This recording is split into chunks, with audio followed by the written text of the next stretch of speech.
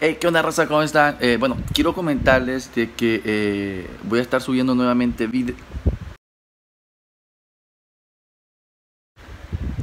Eso no me lo esperaba. Voy a estar subiendo nuevamente videos casi todos los días. Espero les guste mi contenido, espero puedan disfrutarlo, espero puedan dejar su me encanta, espero puedan compartirlo si ustedes desean. De esa manera ayudan, nada más. La mayoría de gente me pregunta por qué hago videoblogs. Y ahí es donde entro yo. Hacer estos videos me hacen sentirme, no sé, tal vez poder crear un contenido que la gente pueda disfrutarlo. Hay mucha gente que me pregunta por qué hacemos este tipo de videos.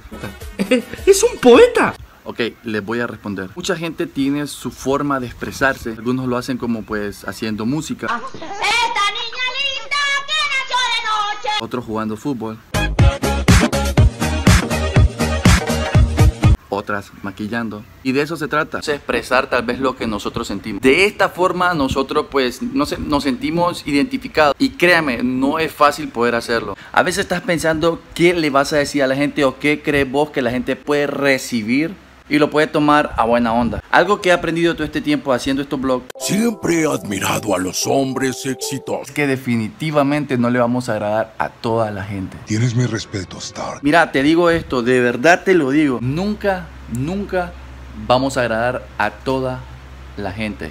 La rifaste, Fernando. Y es que es tan difícil poder encajar con todo el mundo. Así que por eso te digo, si a vos te gusta algo, hacelo. Sí, ¿me entiendes? Vos sentís la pasión, las ganas, el deseo de poder, no sé, hacer cualquier cosa que vos te sintas identificado y sentís vos que es la mejor manera de poder expresarlo.